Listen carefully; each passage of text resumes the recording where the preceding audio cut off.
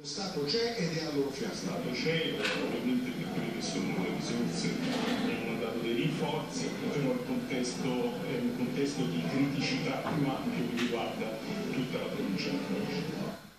Protestano gli agenti della polizia penitenziaria, chiedono degli alloggi in condizioni migliori. Non abbiamo acqua calda, non abbiamo eh, Avvio il sistema non abbiamo panchine dove sederci per cambiarci, la pulizia eh, al nostro, al nostro spese, cioè ci dobbiamo sobbarcare anche la pulizia delle camere.